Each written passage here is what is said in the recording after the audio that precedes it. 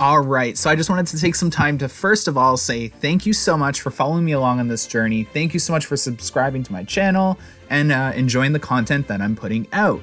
Um, if it wasn't for you guys, I wouldn't still be doing this. Um, and we are almost at 4,000 subscribers, which is crazy because literally, like, couple months ago, we were at like 100, 200, 500 subscribers, and now we're finally at 4K. So thank you so much. So if you haven't already, go hit that subscribe button and follow along on this awesome journey of North American theme parks and eventually much larger.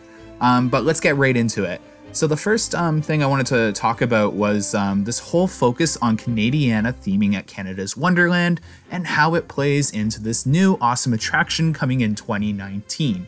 Um, it is no hidden secret that Canada's Wonderland is obviously getting a coaster next year in 2019, and a lot of people think it's either going to be a dive coaster or a wing coaster. Um, a lot of um, things have been happening over the last couple days that 100% lead us to believe that this is probably going to be a Canadian themed coaster as well.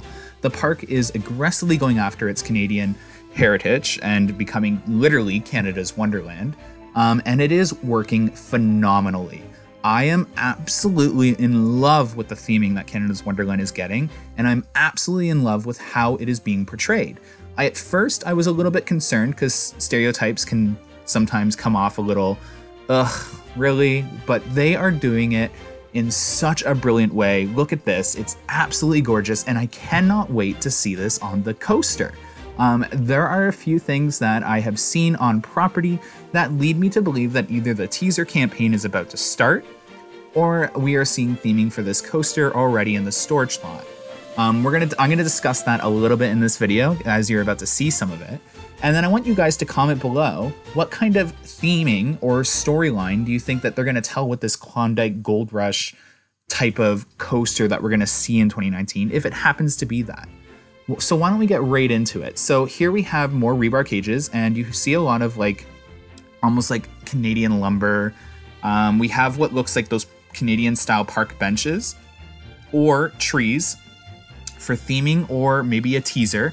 And then above that, you have this weird old boat, um, which would look like to me, that almost seems like maybe it could be part of a teaser campaign.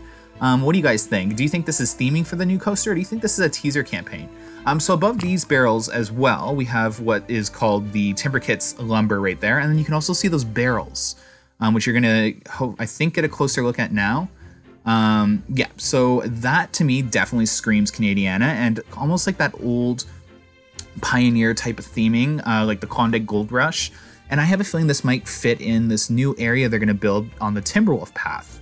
Um, as you saw my update yesterday, definitely think there's some new like restaurants or kind of like shops or theming that's going to be built on that pathway. There is a lot of markers. Um, so I just wanted to finish off this video that um, I think it's no hidden secret that we're definitely going to be seeing some Canadiana theming at the park, and I couldn't be more excited.